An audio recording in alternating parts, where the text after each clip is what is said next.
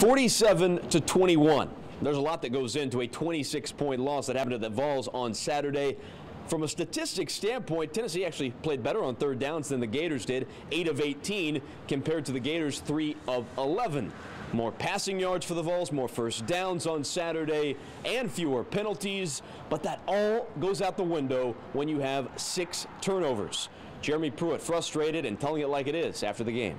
You know, when you continue to let people run and hit the quarterback in the back when he's not looking, eventually he's going to drop the ball. You know, it's something we focus on every day, trying to get them, uh, trying not to give them up. And for us to have success, uh, we need to be on the other side. We need to be in the in the plus four.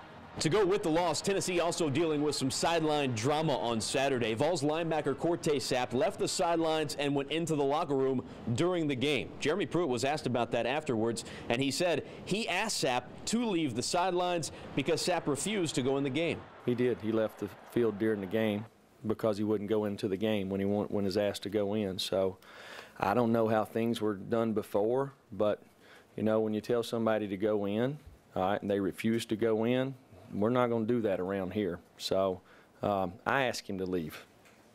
He didn't leave on his own. I asked him to leave.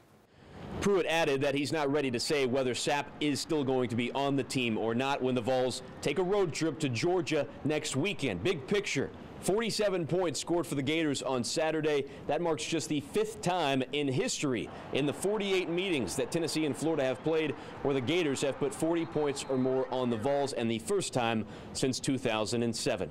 At Neyland Stadium with the Vols, Marshall Hughes, WATE 6 on your side sports.